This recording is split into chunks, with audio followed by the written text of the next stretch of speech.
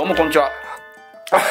ええすごい出だしですね。じじじじじい。じじじど、誰ですかあなたは？どうも、え 都市ボーイズ早瀬です。え違うわ、お前。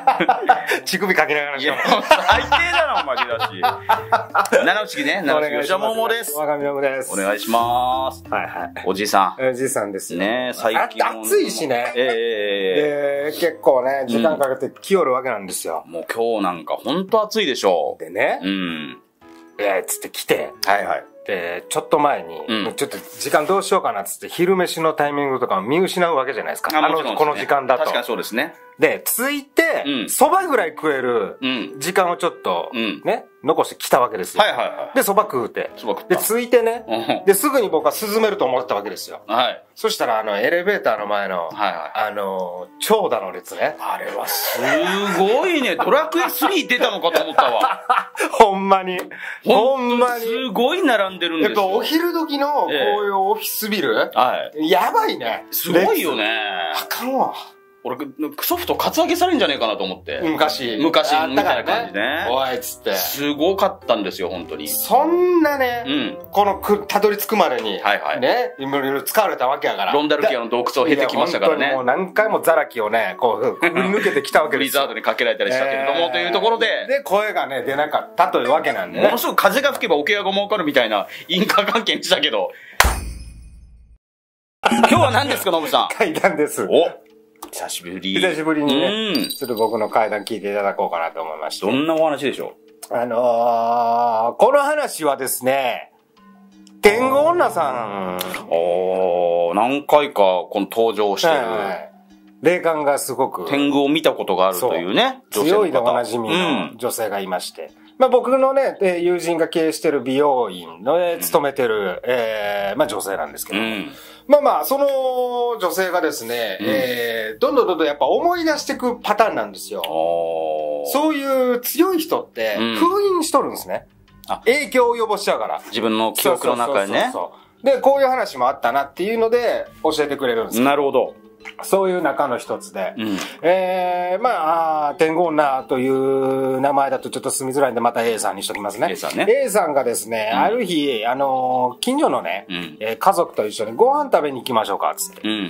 で、まあ、友人は B さんとしときますね。B さん家族とご飯食べに行きましたと。うんで、車で行く。で、B さんの、まあ、旦那さんが運転するわけですよ。はいはい。はい、で、B さんが、こう、助手席に乗って、まあ、旦那さんが運転ね。で、うん後ろに、えーその A さんと、うん A さんの子供ちゃん。はい。で、B さんの子供ちゃん。ああ、なるほど、こういう風にね家族でね。やりながらうんうん、行ったわけですよ。うん。で、まあ、帰りの車内なんて美味しかったよね、みたいはいな、わきあいあい、まあ、楽しく帰ってきたんですね。うん。で、こう会話しながら、なんか気づいたことがあって、うん。なんかね、あのー B さんが言い出すんですけど、最初に。あれ？つって。ねえねえ、いつもと帰り道違くない？ここって言うんですよ。うんうんうんうんってなって。で、なんかこう A さんもそれに気づいて、んあ、なんか違うよね、みたいになってて。はいそしたら、旦那さんが言うんですって。うん。ああ、この前この道通ってみたらこっちの方が早かったんだよって言うんですって。あ信号ないしさ、みたいなあ、。なるほど。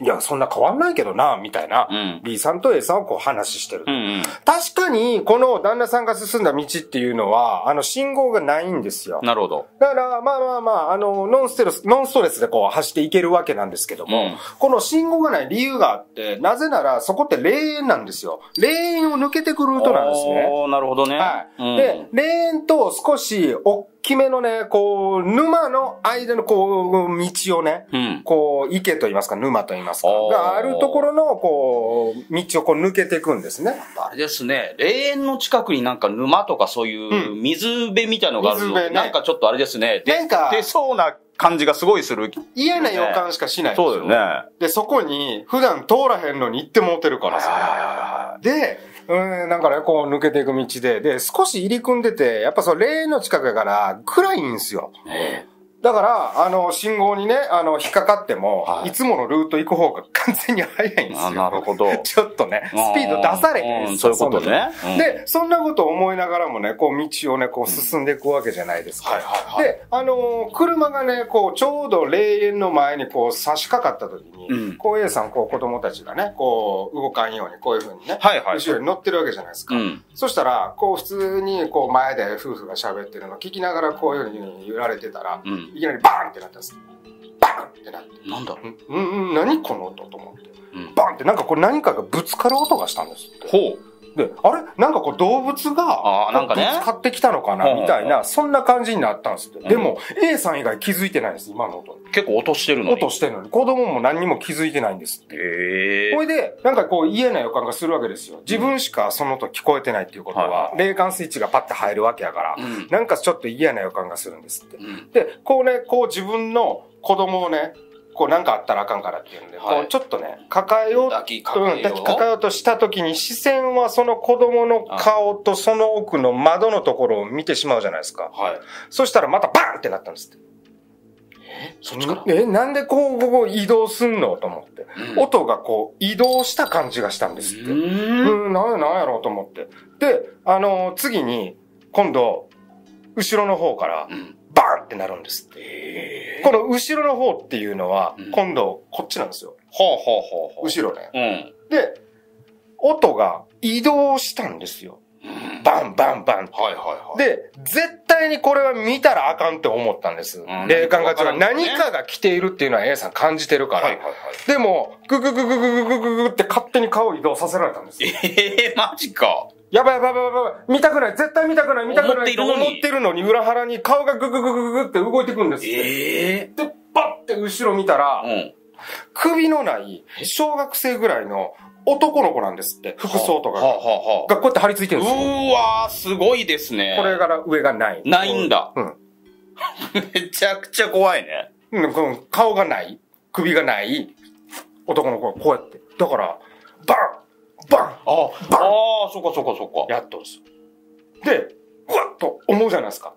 うわーってなって、こう子供たちこうやるじゃないですか。見せたらあかんってまずうんダメな R 指定だからね、多分ね。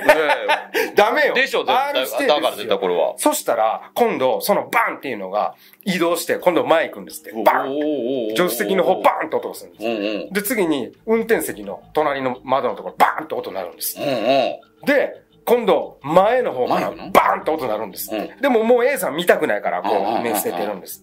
で、霊園をそのままブーンって過ぎたぐらいから音はしなくなったんです。えいや、何これと。え。はい。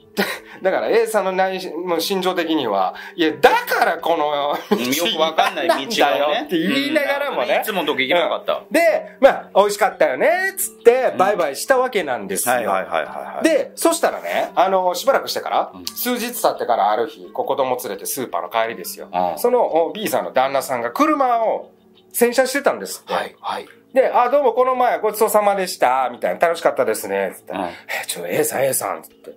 あのさ、つって、この前ごめんね、つって。急にわけわかんない道俺行っちゃったよね、みたいなこと。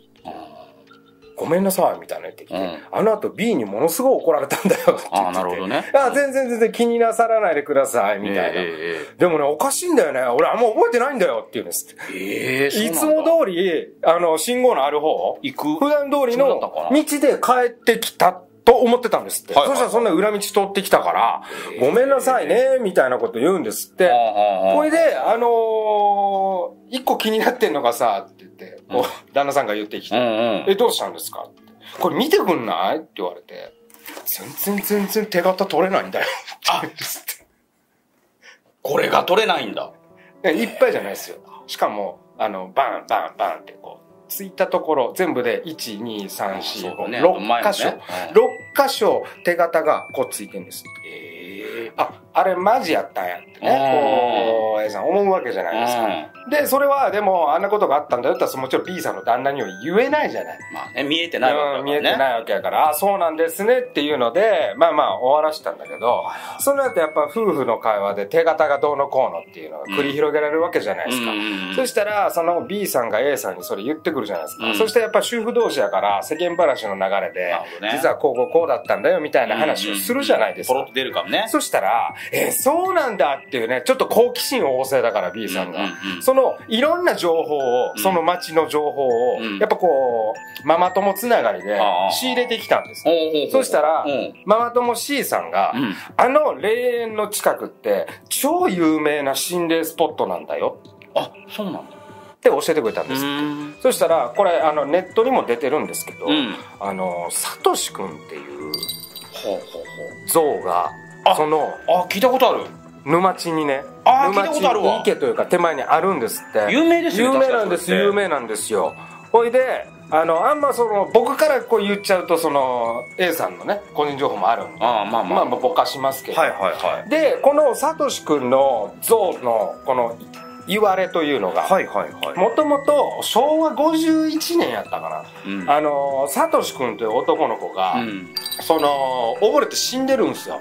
その沼で。で、えー、溺れて死んでしまってから、うんそのね、夜になると、その沼からこう、その男の子が出てきて、うん。そこに来ている人たちを追いかけますみたいな、えー話噂話がうんできたのね。でもうんもうその男の子が沼から出てきて追いかけてくるっていうことは、このサトシ君のご両親からしたら、我が子じゃないですか。それはそうですよ。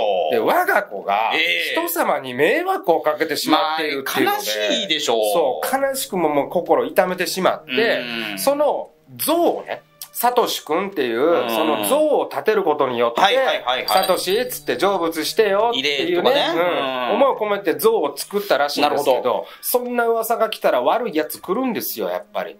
えーいみたいな。わ、ね。いるでしょう。いるんです。で、はいあの、昔は、今だったらね、うんやっぱこう、節度を持って心霊スポットに来ている、うんまあ、YouTuber の人とかもいるんですけど、悪いのばっかじゃないですか、昔。まあまあまあ、そうね。違い保険みたいなとこもあっただろそれで、うん来てね、あろうことか、うんその銅像、ベーンって。う。うわ、これはひどい。で、どの銅像のね、こっから上がバーンって取れた状態で、しばらくえー放置されてたんだ。放置されてたんですよ。はいで、また両親心痛めて、うんなんでこんなことをするのうん。で、その銅像を修復したんですよ。はいでも修復するたびに悪い奴が銅像を壊す。えー、ちょっと、それは良くないよ。2回殺されてるようなもんじゃないですか。やそうですよ。だから、ごめんなさい、テンションで笑っていや、だいや俺は本当そう思うよ。かわいそうだ、これこれ両親は、これはもうかわいそうだから、この像があるために、サトシはまた苦しまなきゃいけない。っていうのでうん、像ごと撤去して、あ今はそのサトシ君の像の後みたいなのがあるんです。なるほど。で、そういう話が、こう調べたら出てきたんだよ。って言って。で、A さんは、ああ、そうなんだってね、A さんもこう、こう、心痛めるわけじゃないですか。あ、じゃああの時のっていう、こう A さんが、こう考えて考察したんですけど、うん。考えたことをこう僕聞いたんですけど、あの時って男の子がね、うん。うん。まずバン来たね。バンうん。バンバンバンじゃないですか。うん。おそらく、うん。サトシ君、幽霊になってるんじゃないですか。うん。ほいで、その自分のね、銅像の顔壊したやつの顔覚えてんじゃないですか。だから、ああ、そこに全部見てるのか車で来てんのを多分確かめてんですよ、一人ずつ。してるのね。なだから、首がないっていうことは、もうサトシ君が像のことばっかり考えてるから、もう顔がなくなった状態になってるんですよ。ほいで、自分の像を壊した犯人を探すために、バンってこう覗いてるんですね。うーん、もう、これはなくてもね、うん記憶で残ってる部分っていうので探してると。そうそう。だから、A さん曰く、あの場所はとても、あの、悲しい、サトシ君という幽霊がうろうろしてるから、あんま通らない方がいいですよ、みたいなこと言ってて。ええそうなんですか。なんか、こう、言われのある心霊スポットでも、深掘りしていくと悲しいね、ほら、悲しいね。お話になってしまうというパターンもあるんで、なるほど。うんっていうね、お話なんですけども。まあ、よかったですけどね、この車でね、通ってるその両家族には何もなくてね。まあね、そういう意味での危害はなくてよかったんだろうけど、でも、もしね、今後、ほ本当にやったやつ。がそこ通った時っていうのは、サトシ君はどうするつもりなんだろうね。予想ですけど、最初バンって確認して、あこいつやと思ったら、顔出てくるんじゃないですか。で、めちゃくちゃキレてんじゃないですか、サトシ君。で、そのままゴーってくるんじゃないですか。いや、だから本当に、やった人は近寄んない方がいいですよねとか言おうと思ったけど、やったやつが悪いから、これ。そうなんです。まず考えてみたら、ダメですよ、絶対そうね、ね。いや、ダフンだって言ったら今。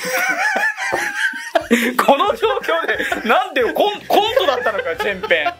志村さんの終わらせ方です。ダフンだと終わらせ。だとは言ってないです。ダメですよ、みたいなこと言おうとしちゃうとね、っていうダメこと。ですよがダフンだダメだって、見たくなっちゃったっていうことです。まあでもね、えーちょっとね、さすが店員オーナーさんと言わざるを得ない、ちょっとね大金、迫力のあるお話でしたうんお話でした。わかりました、ありがとうございました。今後もね、天狗女さんでいろんなお話提いた供してくだいたらねれてるんで。、ここで披露していただきましょう。はい、ということはいで以上、ななちゃんでした。あありがとうございました。